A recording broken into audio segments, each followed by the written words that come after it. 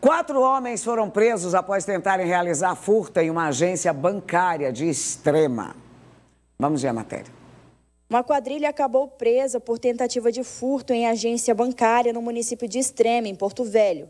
Segundo a polícia, a quadrilha que estava em um carro modelo HB20 tentou invadir a agência através de um buraco na parede para roubar valores dos caixas eletrônicos.